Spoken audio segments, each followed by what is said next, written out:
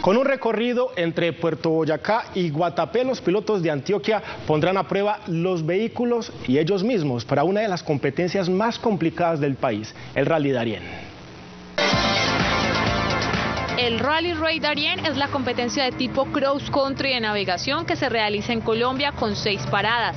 La segunda se acerca y como preparación los pilotos recorrerán 328 kilómetros. Tenemos un preparatorio para la gente que va a competir en el Rally Raid.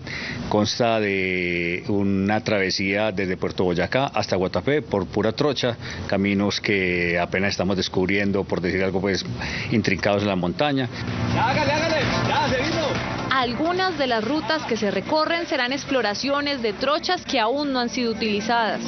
El evento va a ser del 24 al 26, salimos desde el, 24 desde Puerto Boyacá, recorriendo como les dije los pueblos de San Carlos, San Rafael, Alejandría, Guatapé, llegamos a descansar el viernes en Guatapé, el sábado vamos a tener un día de agua para que la gente se divierta. Y el domingo nos regresamos para Puerto Boyacá por una ruta totalmente distinta.